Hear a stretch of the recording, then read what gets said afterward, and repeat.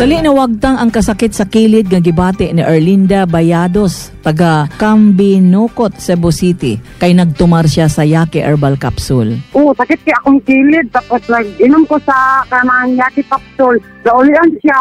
Ambot ko ang sa inom ka na ito. Yelo akong ihi ba? Tulo ka capsule akong nainom. Nawala ang kasakit sa akong kilid.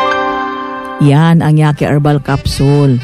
Mapamatod ang gyud na sa tanang nagagamit mga higala. Busa ka man, gamit na sa Yake Herbal Capsule mapalit sa mga butika.